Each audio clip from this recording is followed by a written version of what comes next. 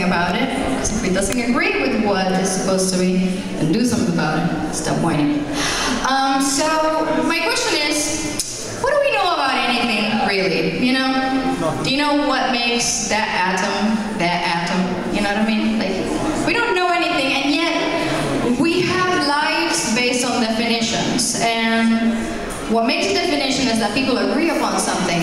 Yes, right? Or is it? Because you were taught language. You didn't agree on anything that you were taught when you were taught milk, ma, woman, man, etc.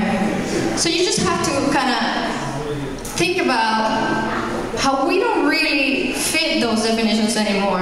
And like any other invention, language is art, you know, like it's a human invention. Like the wheel.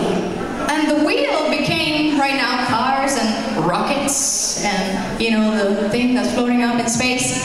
But yet we still have the same words. You know what I mean? Like we haven't we have added vocabulary, but I don't think we have changed it that much. And it serves a purpose, you know, in a point in time, some words, but there's just some stuff that we need to change in order to really be defined by them. Like the word women, human, like a lot of people call themselves human, like I'm not that. You know what I mean? Like yeah. just think of people that you don't want to name, and they call themselves human. I was like, I don't think so. You know what I mean? Um, bunch of other stuff. A woman, man, lesbian, gay. What the fuck does any mean? Um, we learn language, but technically we didn't get consent to it, and we just have to kind of, for practicality, just keep using it. Our society defines things like everything's final, like the final knowledge on that thing. It's just what a woman is, you know what I mean? Like stuff like that. And I wonder, because of the community that I'm surrounding myself with lately, well, lately, but you know, I've always been there. Um, I, I question these things like, what does it mean to be human, woman, man, lesbian, gay, trans, this, that? You know, we have parts. We have parts. Just parts, you know, physical parts we have, but we have categories for other parts, like emotional parts and spiritual parts and chemical parts and all kinds of parts. But, uh, you know, we're more than. Yeah, right? Can you agree with me because I'm, I'm, I alone? okay. anyway, so society's like, so what are you gonna do with that? What are we gonna do with the rest of what we are? You know what I mean? Like, why do we have to define our lives based on that particular body part? Like, I get it, but I don't. And my, um, so we have to pick. I guess we have to pick between like hetero, lesbian, bi, gay, trans, gender non-conforming, binary, non-binary, non-conforming, binary, curious, gender phobic. Like, what? Those words, people throw them at me, I'm sometimes like, I feel so dumb right now, like I don't know how. You know what I mean? Like, I don't understand. But I get it. You know what I'm saying? Because sometimes when, you know, I'll try to pick. When I'm with people, I create a connection with them. I feel maybe sometimes with some people, physical connection. Some people I feel a spiritual connection. Some people I feel an emotional connection. And sometimes I'm attracted to this, you know, bearer of the connection. And I want to maybe, like sometimes,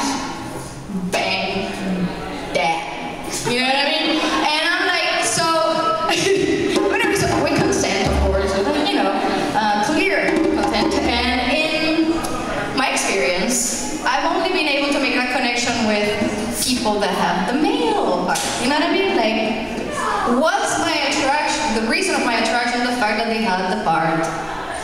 Or was it my natural wiring? You know, like I question these things because they don't make any sense anymore, you know? Um, so your biological wiring has something to do with it, but also your conditioning. And I was conditioned. I grew up, sidebar, uh, Puerto Rican, 80s and 90s, patriarchal Puerto Rico, only daughter of three, of a mother who was the only daughter of four, of a guy that was in the military in Puerto Rico fighting crazy. You know, like that was what I was told. And to be a woman in that world, it was like, yeah, you are attracted to the male part, but not until you're married. Otherwise, if that male part hurt you, then you brought it onto yourself. Like if so, don't be a skank. Uh, figure it out. And I'm like, what? Like that's the long story short. And I'm like, not an adult that doesn't believe anything, so I just don't listen to that anymore. anyway, um, my point is, I felt attraction to many people's like categories, emotional, parts, spiritual, physical, some of them, and sometimes I think back and I, I know that I had that attraction to women, but I was brought up to also say, no, that's wrong. You're going to hell, and you're like, it's just my friend, you know, what am I doing? And I can't help that to think also, how would my life have been different, shame-wise and guilt-wise, if I had been brought up in an environment that was fluid about that. I was like, you know, no expectations for your parts and your entire life because of that part. And I still wonder, like, what's gonna happen to my life when I come to terms, when I invite you to think about that, like, can you come to terms with the reality of what you've been driven to, like, that kind of natural instinct? Um, and the fact is that, that my life will be different. Um, but it's not because I'm scared that it means something. You know, like, ooh, ooh, I like a girl. Or you know, whatever, you know what I mean? And like, it, on, it only means a connection.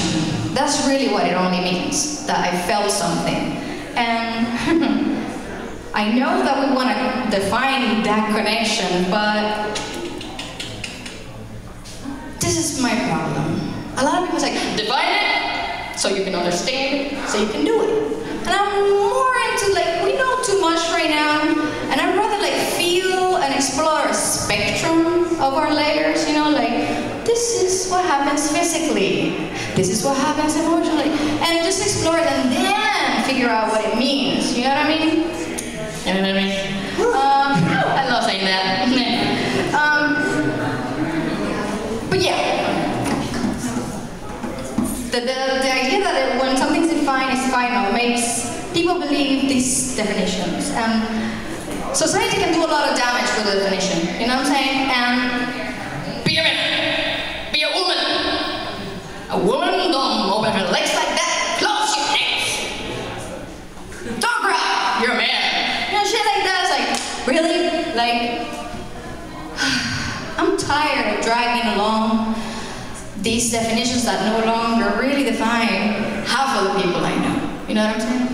Like, do you feel defined by the language that we were handed down? Think about it. Like, I'm just asking you, please. Um, so we don't need all this. What I think we need, and I hope is part of the change, is like a shift in paradigm where we see definitions as incomplete things, that they can always evolve. Three dots at the end. So far, what we know on this is women do this, women. You know what I'm saying? Like, change the way that we see the words? Because they were handed down to us. When was the word woman and man invented? Can you remember? You didn't agree on it. You know what I'm saying? Like, you get it, but you don't. Anyhow. um, yeah, we don't really know anything about it, but, you know, we're working on it. And if we're open to reevaluating these meanings, sorry for that, then we can agree upon new understandings of these things, I guess. And but we cannot impose a way of life based on a definition. It's also what I'm trying to get because we're evolving constantly. And we're much more, and our badassery potential is real lit. Look at you. You know what I'm saying? Like, look at you. How far have you come by just shedding off these, you know, layers of old language? Um, how are they holding us back? How much do they represent, I'm talking about language, the language of the oppressor? You know what I mean? Like how much the language that we use is still the language that was designed to keep these things the way they are for the oppressor. And you're like, uh, nah. Okay, it's enough. So, We have to lead our lives with these images of language to understand the world around us and guide us. And there is power in language because it's art, obviously. But right now, we know too damn much to keep thinking like these stories of culture and, you know, hand-me-down ideas. And I feel that, yeah, it is a crazy world that we have to change. But I'm, I'm up to the challenge, and I feel like the queerer I become and the queerer the people around me are, I feel a miracle, you know, because for you and I, my weird, weird, beautiful friend, to exist in this backwards ass reality I really think it's a miracle. When I do what I do in this town, or I see all of y'all do this stuff, and meet anybody that gets it, it's like, wow, it's beautiful. I love it. You know what I'm saying? And we're gonna change things if, and this is where organized religion has us by the ear,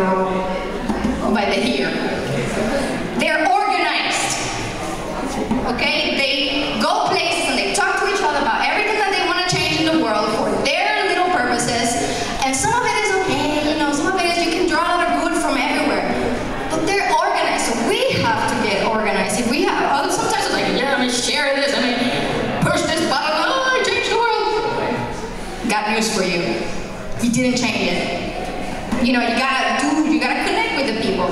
And I think that this is where art comes in.